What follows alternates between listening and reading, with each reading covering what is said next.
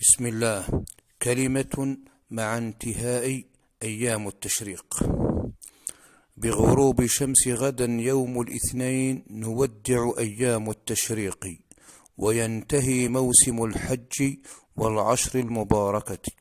أيها المسلم داوم على الأعمال الصالحة فإن العمل الصالح شجرة طيبة تحتاج إلى سقي ورعاية وعناية لتنمو وتثبت وتؤتي ثمارها. أيها المسلم إن من علامات قبول الحسنة فعل الحسنة بعدها. واعلم أيها المسلم رحمك الله أن المؤمن دائما يستصغر عمله مهما كبر ولا يحصل له به عجب مهما كثر ولا يغتر به ولا يتكل عليه لأنه يعلم أن نعم الله التي في جسده من سمع أو بصر أو نطق أو غيرها لا يستطيع أن يرد شكرها لله مهما قدم من أعمال عظيمة.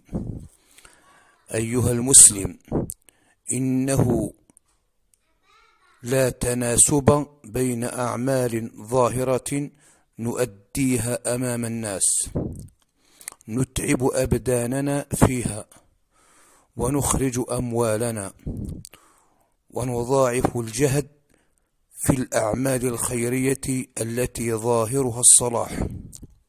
وبين فجورنا في الخصومة وأكلنا للحرام والتمتع بالحرام والكذب في الحديث وشهادة الزور وأكل مال اليتيم واحتقار المسلمين وارتكاب الفواحش وغيرها من المعاصي.